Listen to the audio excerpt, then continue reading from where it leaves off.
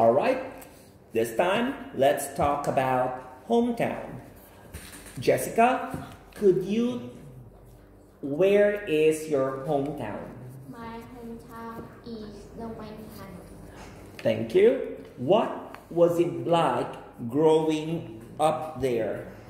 I it was like bleaching bleaching growing up there.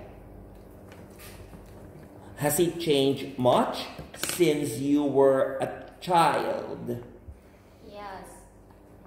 It has changed it has changed much since I was a child.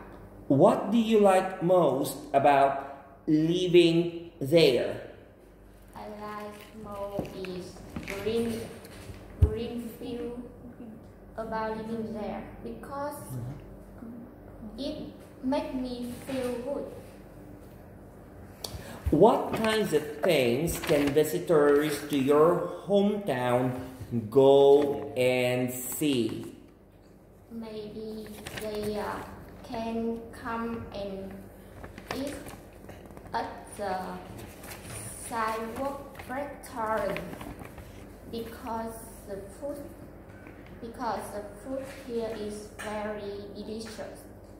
Do you think you will live there when you are older? Yes, I think I will. I will live. I will live there when I I am older.